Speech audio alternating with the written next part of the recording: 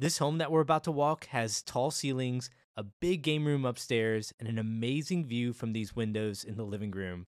If you like homes that back up to lakes, then stick around for a great walkthrough. Hey everyone, Raj Sahoo here. I'm a realtor in Central Texas, but you shouldn't always use me as a realtor. Today we're going through the Wichita plan with Coventry Homes. This home is for sale at $824,000. It has five bedrooms, four full bathrooms, is just over 3,700 square feet, and does have a three car tandem garage. Now, as soon as you walk in the front door, it is open to the second story. I will show you that later in the video, but first, I had to walk right out to this main living area because this is what I think really draws buyers' attention to these types of plans. You have that wide open kitchen, breakfast nook in the back, and then this living room that is open to the second story. Absolutely fantastic. Now we are going to start in the kitchen and go room by room in detail and then later on in the video I'll take my drone up in the air and show you Lake Georgetown which is behind this home. It's beautiful and I'll give you a taste of what lakeside living is like. Starting off in the kitchen, I like the contrast that they have here where they kept the backsplash and the countertops light and bright. They did a darker gray on the cabinets we do also have a five burner gas stove with an under cabinet vent hood, and then behind me we'll see a single basin apron sink. And while we go through the rest of this kitchen and I'll show you the pantry next, I do want to tell you two things. First off, from a design standpoint, this is what you typically see from builders when they're doing these inventory homes, which is what we're walking right now, meaning they build a home, they pick all the design and structural upgrades, and then they sell it on the open market. So, from a design standpoint, they don't want to take too much risk putting in unique colors into the home, and that's why you'll see a lot of neutral colors, a lot of whites and grays throughout this specific home. And Coventry will break up that design, do some fun things like in the primary bathroom, which we'll see later. They did this great accent wall in the walk in shower, which I think you'll really like. But if you don't like the color pattern here, rest assured you can take this plan that we're walking called the Wichita plan and build it from scratch in so many different communities. And that's the beauty of new construction. If you don't like what you see, then find a great lot and have this builder build this same plan on that lot. Moving on, we are in the breakfast nook area. I love the amount of windows that are in here, and I am calling this a breakfast nook because prior to this, we saw the pantry and some cabinetry across from that pantry. If we went through there, that would be a dining room on that side. So we will also get to that later on in the video, but I just have to head outside and show you this back patio that looks out to this greenery. Now, like I mentioned before, we are in a community called Lakeside at Lake Georgetown. This area is known for a lot of things. You have lots of golf courses around here. You have Cimarron Golf Course, Berry Creek, Cowan Creek. You also have parks that are close by that you can do camping in. And then, of course, this is known for the lake and lakeside living. So, if you're into boating, just hanging out on a lake that's very calm, doing some fishing, then definitely stay till the end of the video where I take my drone up in the air and I'll actually follow a boat as it goes through Lake Georgetown. And you'll get a good glimpse of what it's like to live in this area. Now, we are also in one of the fastest growing suburbs in America, which is called Georgetown, Texas. It's a suburb north of Austin, Texas. And I'll talk a little bit more about that later on in the video. Getting back into the home, I love what they did here in the living room where you have this fireplace tile that follows the stairwell all the way up to the top of the ceiling. And then you already have electrical in here to hang a TV. You have all these windows that we saw off the back wall that look out to greenery. And this is why the living room is one of my most favorite rooms in this home because it opens up so well due to everything that I just described. Windows make a difference, tall ceilings make a difference, and that tile design in the fireplace makes a big difference. Moving on, we're in the primary bedroom. I love that they have a tray ceiling, which opens up this space. And then we're going to keep coming back to windows. I think Coventry does this really well. Notice the three transom windows on the left wall. Perfect area to put your bed. And then imagine you just open up the curtains in the morning, and this is what you're looking out to so beautiful. And I will also say, if you do build this plan from scratch, look into different structural upgrades that are offered by Coventry. When my clients built this plan from scratch, which they just closed a few months ago, they did a bay window on that wall in the primary bedroom. It added a couple windows and it also provided a curve in that wall, giving a little bit more space and square footage in that primary bedroom. They also backed up to a greenbelt, which looked fantastic. And if you want to walk through of their home or this plan as a model home that's fully staged, I'll post links to both videos in the description of this video, but stick with me. I think there's still a lot to see here in this home, like this freestanding tub. I like how they fit two windows here in the bathroom, providing a lot of natural light, and then they just put a slope in the ceiling to just give you a little bit more room here. Now that light fixture probably could have been raised a little bit more, but that's something you could always ask the builder to adjust when you're buying something like this. They won't make changes on a lot of these inventory homes, but adjusting the height of a light fixture I don't think is that big of a deal. And then earlier I was telling you about an accent wall in the walk-in shower. Take a look at this. I thought this was fantastic where they have again a lot of whites and grays in the tile, some movement in that tile. Uh, they also did a shampoo niche that matches the flooring tile that also has some whites and grays. And then take a look at this view from inside the walk-in shower. And this is why I think ceiling height makes such a big difference. Just a simple slope in the ceiling makes this space feel so much more open.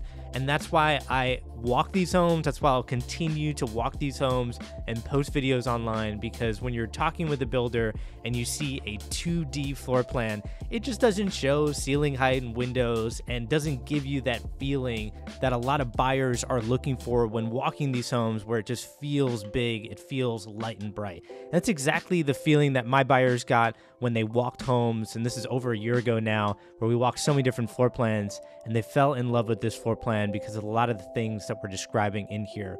Now, there were also some things that my buyers loved about this plan that we're not seeing in this inventory home, and I do want to call those out while we head over to the dining room. And there's still a lot to see here. Even on the first story, we have a second bedroom down, we have a study downstairs, and then upstairs, wait until you see that game room, media room. But looking out at this patio, for my buyers, they did an extended patio and they got a very large ceiling height. Don't quote me on this, but I think it was around 18 foot tall ceilings, and that made such a big difference in that backyard patio. And that's what they loved about this plan. Now, keep in mind, that was in a different community, and these plans in different communities are sometimes built in different ways. But for this specific home, they did not do the extended patio, and I think it's because they would have made it would have made the yard feel so much smaller. And if you're going to be outdoors in this community, you have a lake, you have parks, you have golf courses, you have so many things to do, and so that's why I think they decided not to do that extended patio. Now, we just saw the dining room, which also had some great windows in it. This is just going to be storage underneath the stairwell. I like that it goes all the way around in there to get you as much storage as possible, it goes underneath the stairs. And I'm finding myself talk about storage more and more often with a lot of buyers that are moving here from out of state, especially the buyers that are living up north where they have these big basements up north and you just don't have those here in Texas for the most part. So they always ask about storage. And I think builders are getting better and better at finding unique ways to fit storage into their homes. Now, on this side of the home, we have a utility room, we have a full bathroom, which we're going to take a look at, and then behind me is the second bedroom downstairs. In this full bathroom, I like that they did a walk in shower here. I like the movement in the tile that goes all the way up to the ceiling. And I think for your second bedroom downstairs, it's becoming a must have to have a walk in shower, just because for a lot of buyers that are looking to buy these homes, have parents stay with them, in the second bedroom downstairs. I think it's really important to them that this is a walk in shower rather than a bathtub. Now, we will get to that second bedroom downstairs in a second. This is going to be a look at the utility room. You'd have a washer and dryer on this side. And if you're looking to build this plan from scratch, in some of their communities, they're currently offering a workout room. It would change a little bit of the orientation of the bathroom that we just saw, and it would make that utility room smaller. It would also take out this mud bench that's right outside the garage door entrance. Now, even though these things are taken away, you do get that workout room, which you could put like a treadmill in there, like a weight bench, or anything that you want, and then you still get this three car tandem garage space. Now, keep in mind, these upgrades do change over time. So if you are watching this in the future, which everybody is, you should be double checking these things, and you should be working with a great realtor that knows these builders inside and out. Right now, I think Coventry is offering some great structural upgrade options. In one of their other plans that I have a client that's under contract on, they're currently offering a workout room that takes out the tandem garage space. But if you have enough room on your lot, you can add a third car garage bay. And while we're in the second bedroom downstairs, which has some good windows off the front of the home here, I do want to mention at this square footage, I would highly recommend having a three car garage. Even if you don't need the third car, it's great for resale, in my opinion, because for a lot of buyers that are moving here, we just talked about it earlier, they need storage. And I think when they're looking at homes, especially the older homes that are even just three to eight years old, they have a lot of two car garages. And when they look at new construction, they tend to want to wait and build these homes from scratch because they can change around the plan structurally through these various options that I'm talking about. And when you can take all these options that builders have and pick all the ones that you really want, it makes it so worth it. And that's why I find a lot of buyers, if they can't find what they're looking for as an inventory home like this, they tend to build from scratch and get a lot more of what they want. And that's why I tell all my buyers, you'll compromise so much less when you build from scratch. It'll be a lot more work, more work for you, more work for me, but working through it together, I think is well worth it to get what you want. Speaking of getting what you want, this is going to be a study. I love the windows in here. Perfect to put a desk right in the center of the room where you'd have windows off your left shoulder, you'd have windows behind you. In front of you, you have those doors with a glass insert. I like how they stain the wood around those glass inserts. Just provides a little bit of contrast in this room. I think this study is a great place to work from home, or if you're in a hybrid model, you just need to work from time to time great place to do it. It is at the front entrance of the home, and like I mentioned earlier in the video, we are open to the second story as soon as you walk in through that front door or out of your study. Now, we've been talking about it a lot. Let's head upstairs. I want to show you that view again from the transom windows, show you the game room, the media room, and there are also three bedrooms upstairs. So we have two bedrooms down, three bedrooms up. And at the time of this recording, that is the standard, meaning you don't have to upgrade to get an extra bedroom. The only upgrade option that they have up here that adds square footage to the plan is adding that media room. And I have to say, that is unique when looking at so many different builders. A lot of builders, they have room up here to add square footage. So you either have an option to add a fifth bedroom and bathroom or add the media room but very rarely can you do both, especially around this price point with similar new construction homes. But I like in this plan, you can currently get both. And I keep saying currently because, again, these things can change over time. So definitely double check everything that I'm saying. We are in the game room, which, as you can tell, has a lot of great space. Again, I know you're looking at an empty home, but by the end of this video, if you want to see this plan staged, I will post the model home walkthrough of this exact same plan in the description of this video. When I say exact same plan, again, there are some different structural upgrades that could be slightly different, but I think you'll still get a good flow of the space seeing it staged, especially in this media room. So notice that they have an outlet up there to hang a TV. You also have white caps on the ceilings and white caps even on the walls behind me. That's usually there for pre-wiring for speakers that you can tie in after you close on the home.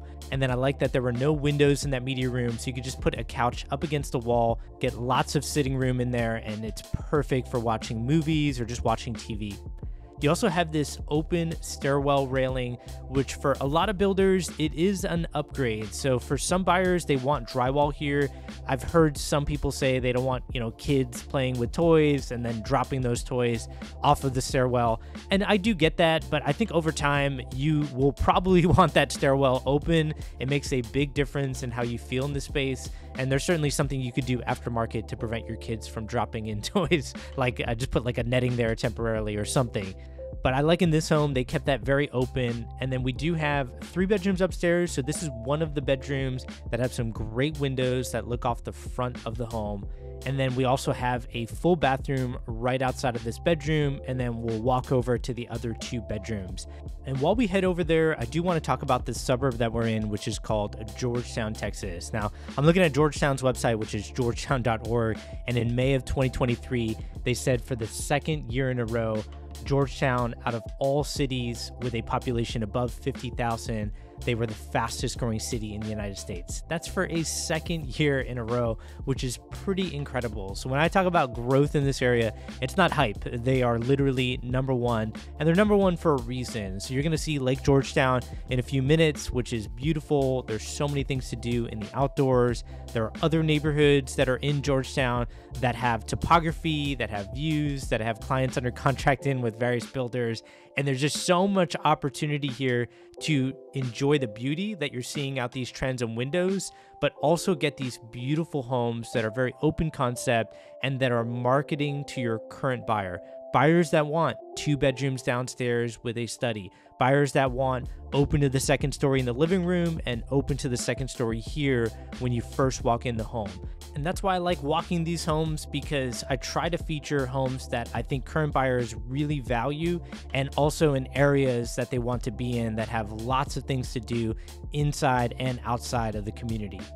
Now, keep in mind, I talked about the good parts of Georgetown, but like most suburbs, especially here in Texas, where these suburbs are massive, there are good parts of the suburb and there are not so good parts. And so I don't want you to just say, well, oh, this suburb's great or this suburb is bad. These suburbs are huge, and you really need to dive into the details of the pros and cons of these various areas because there can be some big differences even just within a suburb like here in Georgetown. Now, that is a topic for another video. And while we go through this Jack and Jill full, full bathroom that's in between these two bedrooms, I wanted to cover what I think could be of most value to you when you're going through this home search process. And that's clarifying something I said earlier in the video, which is you shouldn't always use me as a realtor. And what I meant by that is I focus on a very specific niche of real estate.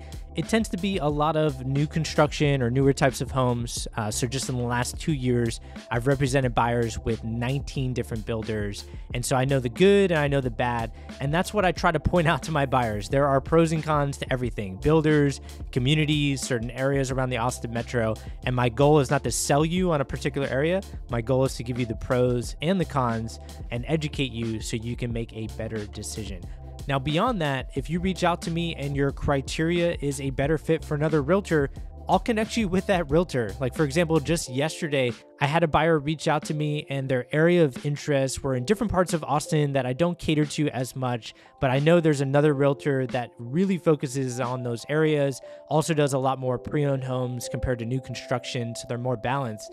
I connected that buyer with that great realtor, and they've already hit the ground running with their home search process and are very happy. So, my contact information's in the description of this video. Feel free to reach out to me there. And before I let you go, you have to see this. Now, I told you I would take my drone up in the air and show you Lake Georgetown. It is so beautiful.